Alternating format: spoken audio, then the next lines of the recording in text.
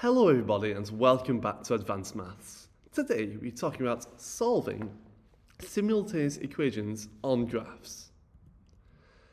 Okay, so the example one, we're going to graph the following equations. y equals 2x minus 1 and y equals minus x plus 5. Hence find the solution to the simultaneous equations.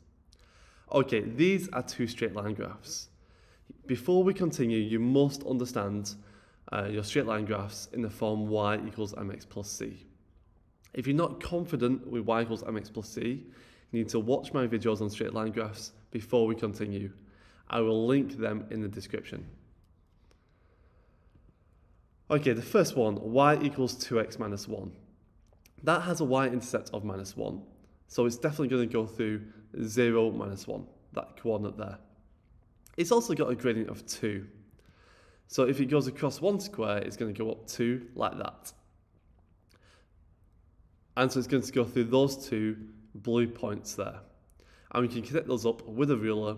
It's going to go like that. Now we've also got y equals minus x plus 5. And that has a y-intercept of 5.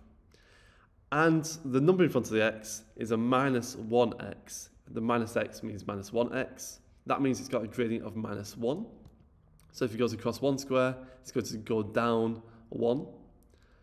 The gradient is negative. And so it'll go through these two points here can connect those two up with a ruler. You can also graph these straight lines using a table of values and plot a straight line graph uh, the slower way, but both ways work. Now you should see that these two lines cross over and they've got a point of intersection here. The coordinates of that point of intersection tell us the solution to the straight line uh, to the simultaneous equations. The coordinate is 2, 3. So that means the solution is x equals 2 and y equals 3. And we've done. That is the solution to the simultaneous equations. Now the next one is graph the following equations. y equals x plus 2 and y equals x squared minus 4x plus 3 hence find an estimate for the solutions to the simultaneous equations. Okay, so we're going to start with y equals x squared minus 4x plus 3. And to graph that, we need to do a table of values. And so we set up a table of values where we've got x equals minus 1, 0, 1, 2, 3, 4, 5.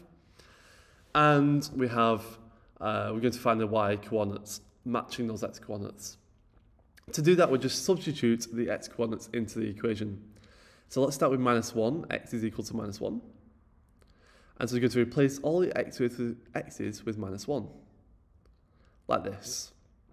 Okay, do you see what I've done there? I've replaced all the x's with minus 1. I can now work that out with my calculator.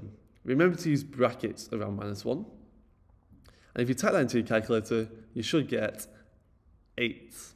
So y is equal to 8. The matching y coordinate is 8.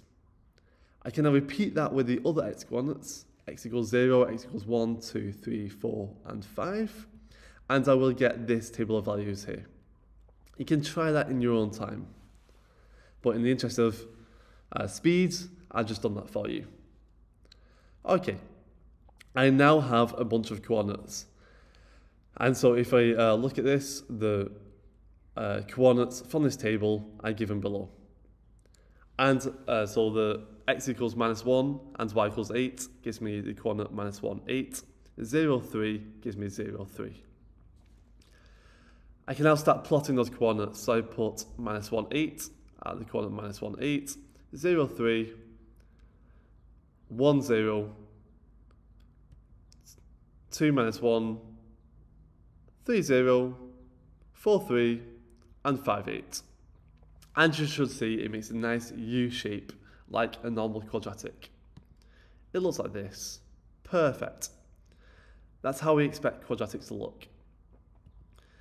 Now I need to plot the line y equals x plus 2. That has a y-intercept of 2 and has a gradient of 1. So it goes through these two points here and goes like that. You could also do that one with a table of values if you that, if you choose. Okay, so now we've got uh, these two graphs plotted, um, and we're going to find an estimate for the solutions to the simultaneous equations. Okay, so there's two points of intersection here, and that means there's two solutions. So you can see these two points of intersection where the two lines cross over are the solutions. Uh, when you've got quadratic simultaneous equations, when you've got a quadratic, it is quite, quite often you have two different sets of solutions. Okay, so the first solution is at the coordinate 0 0.2, 2.2. Uh, this is just an estimate because it's very hard to see exactly what this will be. Because again, we graphed it with pencil and paper. Uh, it's not a perfect graph. Um, and so it is somewhat of an estimate. So I'm guessing that is about 0.2 across and 2.2 up. In the exam, if you wrote 0.1 and 2.3, uh, you would get the mark because you are within one decimal place. Now, the other coordinate is about 4.8 and 6.8. And again, there is some uh, flexibility there in the exam. If you put 4.9 instead of 4.8, you would still probably get the mark. Okay, so 0.2 and 2.2 give us that the x coordinate is 0.2 and y is 2.2. And the other coordinate is x is 4.8 and y is 6.8. And that's the two separate set solutions, and we have finished. We have found the solutions to simultaneous equations. Okay? I've shown you all the examples from today's video, so I'm going to give you uh, this one to try. And it says, graph the following equations, y equals minus 2x plus 2, and y equals x squared minus 2x, and hence find the solutions to simultaneous equations. Again, this will just be an estimate. So you can pause the video and try this yourself.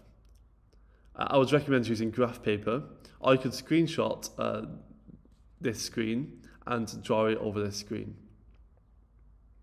Pause the video and try this yourself. Should take about five minutes. When you're ready, I'll reveal the answers in three, two, one.